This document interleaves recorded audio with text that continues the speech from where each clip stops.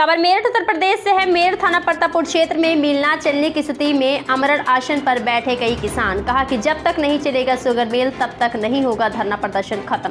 प्रतापुर इलाके में sugar mill का तीन वर्ष पहले डेढ़ सौ करोड़ की लागत से नवनिर्माण करवाया गया था। एक साल मिल ठीक ठाक चला, दूसरे साल सही मिल खराब होने की स्थिति में आ गई।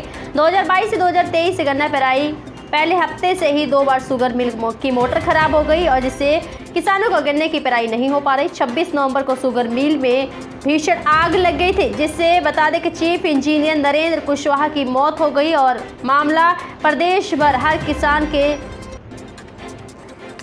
जवाब पर आ गया। मौके पर पहुँचे गन्ना विकास मंत्री, लक्ष्मी नारायण विद्युत राज्य मंत्री डॉक्टर सोमेंद्र तोमर सहित कई प्रतिनिधि शुगर मिल पहुँचे और किसानों को आश्वासन दिलवाया कि जल्द ही